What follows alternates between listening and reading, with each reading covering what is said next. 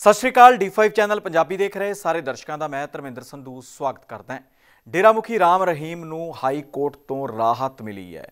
ਪੰਜਾਬ ਅਤੇ Haryana high court ਦੇ ਵਿੱਚ ਇੱਕ ਮਾਮਲਾ ਪਹੁੰਚਿਆ ਸੀਗਾ ਕਿ ਡੇਰਾ ਮੁਖੀ ਰਾਮ ਰਹੀਮ ਨੇ ਧਾਰਮਿਕ ਭਾਵਨਾਵਾਂ ਨੂੰ ਠੇਸ ਪਹੁੰਚਾਈ ਹੈ। ਜਿਸ ਤੋਂ ਬਾਅਦ ਦੇ ਵਿੱਚ ਇਸ ਐਫ ਆਈ ਆਰ ਨੂੰ ਹੁਣ ਰੱਦ ਕਰ ਦਿੱਤਾ ਗਿਆ। ਐਫ ਆਈ ਆਰ ਜਲੰਧਰ ਦੇ ਵਿੱਚ ਦਰਜ ਕਰਵਾਈ ਗਈ ਸੀਗੀ ਕਿਉਂਕਿ ਗੁਰੂ ਰਵਿਦਾਸ ਮਹਾਰਾਜ ਬਾਰੇ ਕਹਿੰਦੇ ਟਿੱਪਣੀਆਂ ਕੀਤੀਆਂ ਗਈਆਂ ਸੀ। ਜਿਸ ਤੋਂ ਬਾਅਦ ਦੇ ਵਿੱਚ ਉੱਥੋਂ ਦੀ ਰਵਿਦਾਸ ਟਾਈਗਰ ਫੋਰਸ ਵੱਲੋਂ ਇਹ ਐਫ ਆਈ ਆਰ ਦਰਜ ਕਰਵਾਈ ਗਈ ਸੀ ਤੇ ਜਿਹਦੇ ਪੰਜਾਬ ਪ੍ਰਧਾਨ ਨੇ ਜੱਸੀ ਤਲਹਨ, ਉਹਨਾਂ ਨੇ ਮਾਮਲਾ ਗੰਭੀਰਤਾ ਦੇ ਨਾਲ ਚੁੱਕਿਆ ਸੀ ਤੇ ਐਫ ਆਈ ਆਰ ਦਰਜ ਕਰਵਾ ਦਿੱਤੀ ਸੀ।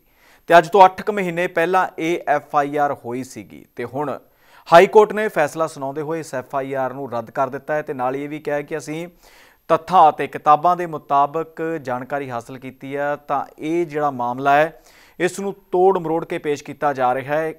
ਪੂਰੀ ਵੀਡੀਓ ਜਾਂ ਪੂਰੇ ਜਿਹੜੇ ਭਾਸ਼ਣ ਦੇ ਸੰਬੋਧਨ ਦੇ ਜਿਹੜੇ ਤੱਥ ਨੇ, ਉਹ ਪੂਰੇ ਨਹੀਂ ਹੈਗੇ, ਉਹਨਾਂ ਦੇ ਵਿੱਚੋਂ ਕੁਝ ਕੁ ਹੀ ਹਿੱਸਾ ਪੇਸ਼ ਕੀਤਾ ਗਿਆ ਹੈ। ਤੇ ਕੁੱਲ ਮਿਲਾ ਕੇ ਹੁਣ ਡੇਰਾ ਮੁਖੀ ਰਾਮ ਰਹੀਮ ਨੂੰ ਰਾਹਤ ਮਿਲ ਚੁੱਕੀ ਹੈ, ਨਹੀਂ ਤਾਂ ਇਹ ਮਾਮਲਾ ਹੋਰ ਵੀ ਗੰਭੀਰ ਹੋ ਸਕਦਾ ਸੀ। ਤੇ ਨਾਲ ਹੀ ਪੰਜਾਬ ਅਤੇ ਹਰਿਆਣਾ ਹਾਈ ਕੋਰਟ ਨੇ ਇਹ ਵੀ ਕਿਹਾ ਹੈ ਕਿ ਇਹ ਮਾਮਲਾ 2016 ਦਾ ਹੈ, ਯਾਨੀ ਕਿ 7 ਸਾਲ ਪੁਰਾਣਾ ਇਹ ਮਾਮਲਾ ਹੈ ਤੇ ਇਹ ਮਾਮਲਾ ਉਦੋਂ ਕਿਉਂ ਨਹੀਂ? ਵਿਚਾਰ ਦੇ ਵਿੱਚ ਲੈਂਦਾ ਗਿਆ, ਹੁਣ ਇਸ ਨੂੰ 7 ਸਾਲ ਬਾਅਦ ਕਿਉਂ ਧਿਆਨ ਦੇ ਵਿੱਚ ਲੈਂਦਾ ਗਿਆ ਹੈ? ਤੇ ਕੁੱਲ ਮਿਲਾ ਕੇ ਰਾਹਤ ਮਿਲ ਚੁੱਕੀ ਹੈ ਡੇਰਾ ਮੁਖੀ ਰਾਮ ਰਹੀਮ ਹੋਰਾਂ ਨੂੰ। ਤੁਹਾਨੂੰ ਦੱਸ ਦਈਏ ਕਿ ਡੇਰਾ ਮੁਖੀ ਰਾਮ ਰਹੀਮ ਰੋਹਤਕ ਦੀ ਸੁਨਾਰੀਆ ਜੇਲ੍ਹ ਦੇ ਵਿੱਚ ਬੰਦ ਨੇ ਤੇ ਕਈ ਵਾਰ ਪੈਰੋਲ ਤੇ ਬਾਹਰ ਆ ਚੁੱਕੇ ਨੇ। ਪੈਰੋਲ ਨੂੰ ਲੈ ਕੇ ਵੀ ਲਗਾਤਾਰ ਸਿੱਖ ਜਥੇਬੰਦੀਆਂ ਸਵਾਲ ਖੜੇ ਕਰਦੀਆਂ ਨੇ, ਪਰ ਇਸ ਦੇ ਬਾਵਜੂਦ ਲਗਾਤਾਰ ਡੇਰਾ ਮੁਖੀ ਰਾਮ ਰਹੀਮ ਨੂੰ ਪੈਰੋਲ ਮਿਲਦੀ ਹੈ। ਪੈਰੋਲ ਦੇ ਉੱਤੇ ਆ ਕੇ ਉਹ ਆਪਣੇ ਵੱਖ-ਵੱਖ ਜਿਹੜੇ ਸੂਬਿਆਂ ਦੇ ਵਿੱਚ ਆਸ਼ਰਮ ਬਣੇ ਹੋਏ ਨੇ, ਉਹਨਾਂ ਤੋਂ ਆਪਣੇ ਜਿਹੜੇ ਉਹਨਾਂ ਦੇ ਸਮਰਥਕ ਨੇ, ਉਹਨਾਂ ਨੂੰ ਸੰਬੋਧਨ ਵੀ ਕਰਦੇ ਨੇ ਤੇ ਕਈ ਤਰ੍ਹਾਂ ਦੀਆਂ ਵੀਡੀਓਜ਼ ਵੀ ਜਾਰੀ ਕਰਦੇ ਨੇ ਤੇ ਹੁਣ ਰਾਹਤ ਮਿਲੀ ਹੈ। ਨਹੀਂ ਤਾਂ ਇਹ ਮਾਮਲਾ ਹੋਰ ਗੰਭੀਰ ਹੋ ਸਕਦਾ ਸੀਗਾ। ਮਾਮਲਾ ਧਾਰਮਿਕ ਭਾਵਨਾਵਾਂ ਨੂੰ ਠੇਸ ਪਹੁੰਚਾਉਣ ਦਾ ਸੀ, ਜਿਹਦੇ ਬਾਰੇ ਜਲੰਧਰ ਦੇ ਵਿੱਚ ਇੱਕ ਐਫ ਆਈ ਆਰ ਦਰਜ ਕੀਤੀ ਗਈ ਸੀ ਤੇ ਪੰਜਾਬ ਹਰਿਆਣਾ ਹਾਈ ਕੋਰਟ ਨੇ ਇਸ ਮਾਮਲੇ ਦੇ ਉੱਤੇ ਸੁਣਵਾਈ ਕਰਦਿਆਂ ਸਿੱਧੇ ਤੌਰ ਦੇ ਉੱਤੇ ਰਾਹਤ ਦੇ ਦਿੱਤੀ ਹੈ, ਐਫ ਆਈ ਆਰ ਰੱਦ ਕਰ ਦਿੱਤੀ ਹੈ, ਜਿਹੜੀ ਡੇਰਾ ਮੁਖੀ ਰਾਮ ਰਹੀਮ ਦੇ ਖਿਲਾਫ ਦਰਜ ਕੀਤੀ ਗਈ ਸੀ। ਇਸ ਮਾਮਲੇ ਦੇ ਵਿੱਚ ਅੱਗੇ ਕੀ ਅਪਡੇਟ ਆਉਂਦੀ ਹੈ, ਲੈ ਕੇ ਹਾਜ਼ਰ ਹੋਵਾਂਗੇ। ਇਜਾਜ਼ਤ ਦਿਓ, ਧੰਨਵਾਦ। ਨਿਡਰ ਹਾਂ ਨਿਰਪੱਖ ਰਹਾਂਗੇ ਆਜ਼ਾਦ ਹਾਂ ਸੱਚ ਕਹਾਂਗੇ। ਗੱਲ ਕਰਾਂਗੇ ਸਿਆਸੀ ਹਵਾ ਦੀ।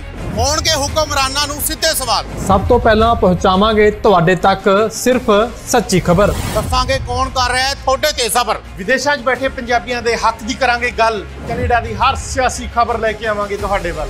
ਉਭਰਾਂਗੇ ਪੰਜਾਬ ਦੀ ਆਵਾਜ਼ ਬਣ ਕੇ। ਹੋਣਗੇ ਹਰ ਪਹਿਲੂ ਤੇ ਰੋਜ਼ ਚਰਚੇ। ਖੋਲਾਂਗੇ ਅੰਦਰੂਨੀ ਰਾਜ।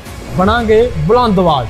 ਖੇਡ ਸਿੱਖਿਆ ਸਿਹਤ ਖੇਤੀ ਦੀ ਬਾਤ ਪਾਵਾਂਗੇ ਹਰ ਪਿੰਡ ਹਰ ਸ਼ਹਿਰ ਜਾਵਾਂਗੇ ਮਨੋਰੰਜਨ ਨਾਲ ਜੁੜੇ ਕਲਾਕਾਰਾਂ ਨਾਲ ਕਰਵਾਵਾਂਗੇ ਮੁਲਾਕਾਤ ਸੰਘਰਸ਼ਾਂ ਵਾਲੀ ਜ਼ਿੰਦਗੀ ਤੇ ਮਾਰਾਂਗੇ ਝਾਤ ਕੀ ਨੇ ਸਾਡੇ ਕਾਨੂੰਨ ਫਰਜ਼ ਤੇ ਅਧਿਕਾਰ ਕੀ ਕਰਦੀ ਹੈ ਸਾਡੀ ਸਰਕਾਰ ਕੀ ਹੈ ਤੁਹਾਡੀ ਮੁਸ਼ਕਲ ਦਾ ਹੱਲ D5 ਚੈਨਲ ਪੰਜਾਬੀ ਦੀ ਕਚਹਿਰੀ 'ਚ ਹੋਵੇਗੀ ਸਿਰਫ ਲੋਕਾਂ ਦੀ ਗੱਲ धर्म धरोहर सेहत और संस्कृति की होगी बात अब D5 चैनल हिंदी भी होगा सर D5 ਚੈਨਲ ਪੰਜਾਬੀ।